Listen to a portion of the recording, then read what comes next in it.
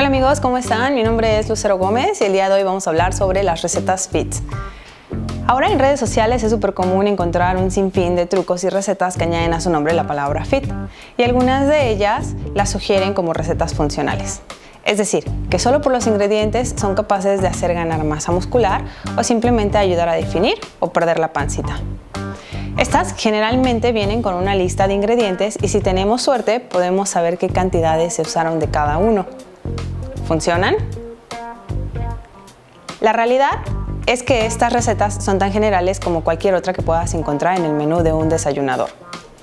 Es decir, lo que promueve la ganancia de masa muscular no es solo el que contiene el licuado o el platillo que se presenta.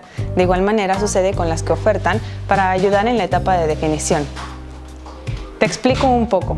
Cada persona tiene características y necesidades específicas. Estas se derivan de varios factores como peso, talla, estatura, edad, estilo de vida y tipos de actividad, por mencionar solo algunos. El conjunto de toda esta valoración arrojará el consumo energético que servirá como base para un individuo en cuestión y de ahí se ayuda a realizar los ajustes necesarios para poder ayudar a llegar a la meta de cada persona con una distribución de alimentos y nutrientes correcto. Y es que no se trata de seguir una dieta o un menú que encontraste en internet o en una revista, ya que seguramente tus necesidades son totalmente distintas a las de otras personas o incluso de la persona que lo promueve.